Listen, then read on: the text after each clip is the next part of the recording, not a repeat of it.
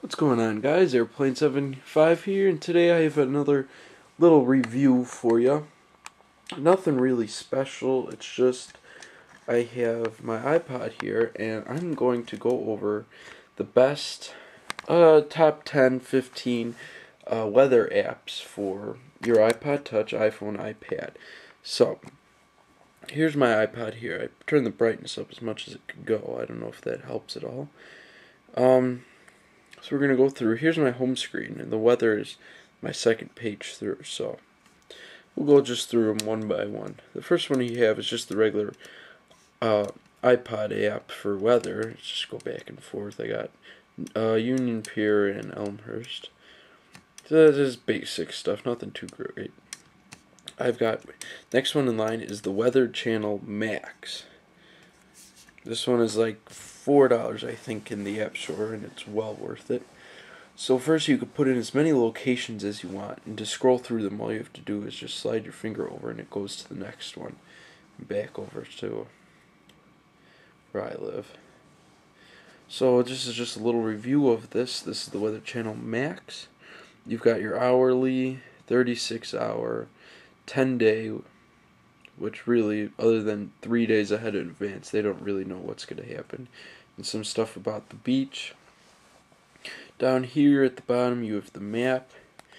You can explore the map. I got it set up so you can see cloud cover and stuff.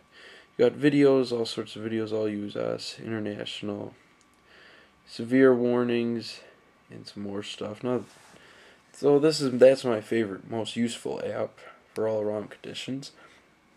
Next one I have RadarScope. This one is awesome for radar. You can do anything with this. You have, there's your KLOT radar based in uh, uh, what was that? I think Harper College. I don't remember. Um, and so you could just click on any radar and it'll just bring you up to that area. So I'll stick with KLOT. Um, down here you could just hit this and it'll find your location where you are. There. And you have all sorts of different radars echotops all storm ref- reflectivity velocity base reflectivity enhanced reflectivity all sorts of good stuff. And of course you can play it animate it and information just some settings you can put in here. Uh, warnings see that. Um, so yeah, that's one of my favorite uh, radars. And as we go into this area over here, where I keep these apps, just these I don't use them as much, but they come in handy sometimes. Uh, AeroWeather. Let this load up. Um, no, I don't want to know. This you can find out about METARs and TAFs for flying the airplane at Chicago DuPage. See, it's all weird stuff. So that's good for aviation. Keep moving on. Daylight. This is good. Tells you the sunset, um, sunrise, sunset of in your area. Weather Planet. This one is really cool. The only reason I don't use this is because it takes forever to load up and it's really touchy. But it's cool with hurricanes because it gives you up to date satellite images of the clouds and stuff. Um, here, you could zoom in, and this is how you have to select, which is kind of annoying. You get it in the crosshairs and hit more.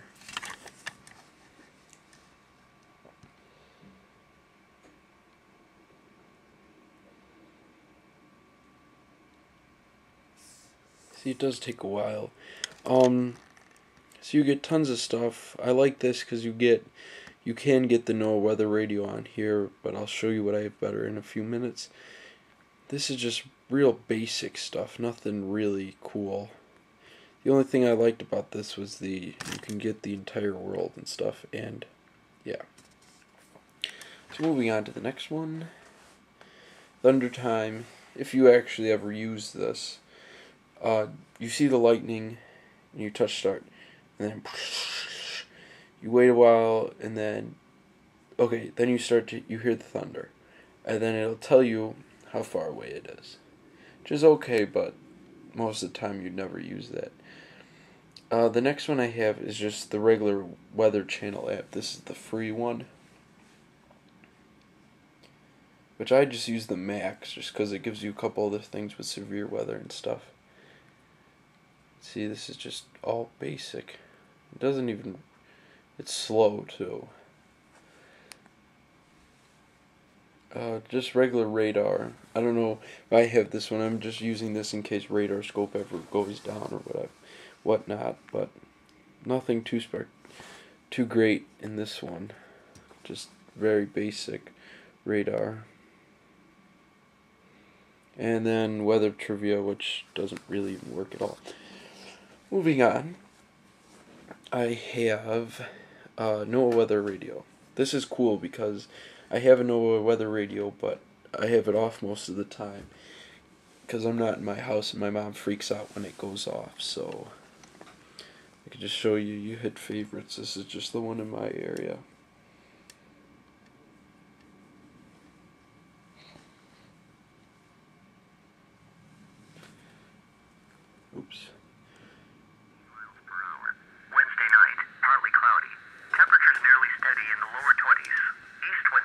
So nothing great.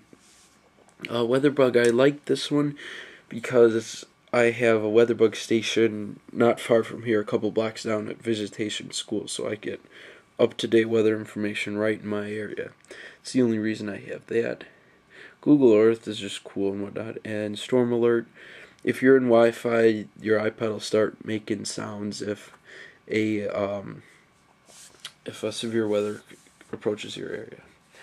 So yeah, that was the top ten uh, weather app reviews that I have. Um, so you, I'll just bring it up again, show you what I got. So yeah, thanks for watching. Don't forget to rate, comment, subscribe. Yeah, please uh, subscribe and get ready for spring. I just got spring fever, so thanks for watching.